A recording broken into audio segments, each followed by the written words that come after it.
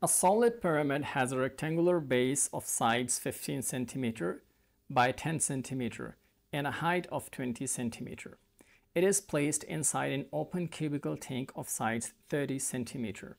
The tank is then completely filled with water. If the pyramid is removed, what will be the depth of the remaining water in the tank?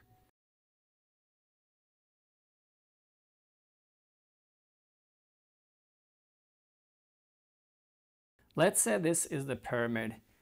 The sides of the rectangular base are 15 centimeter and 10 centimeter and the height of the pyramid is 20 centimeter. Place this pyramid inside a cubical container which is 30 centimeter by 30 centimeter by 30 centimeter and fill the tank with water. When we remove the pyramid from the container, the volume of water gets low. In this question, we are asked to find the depth of the water when the pyramid is removed from the tank. First up, we are going to find the volume of the pyramid using this formula. 1 by 3 times base area times height, which is equal to 1 by 3 times 15 times 10 times 20. So the volume of the pyramid is 1000 cubic centimeter.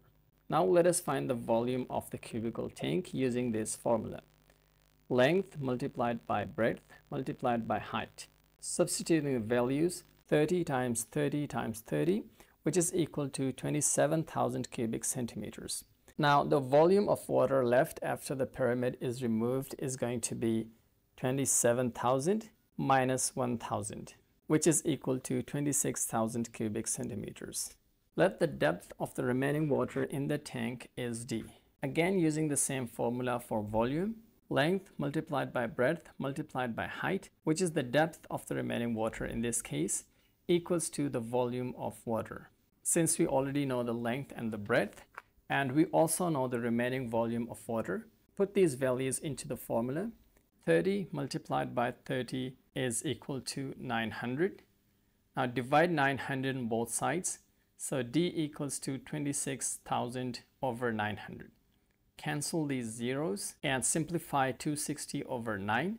So D equals to 28 whole, 8 over 9. So the depth of the remaining water is 28 whole, 8 over 9 centimeters.